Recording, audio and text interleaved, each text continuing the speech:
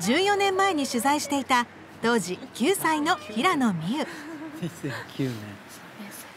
結構つい最近だけど。可愛い面白いランドセルの。色してるね。ね確かにそうですね。オレンジ。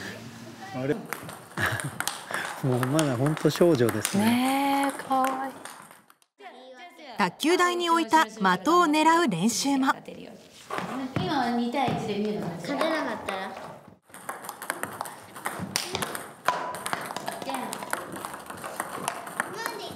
この子妹？そう妹さんですね。はい。卓球やってたもんね。やってましたね。はい。あ卓球はやめられたのかな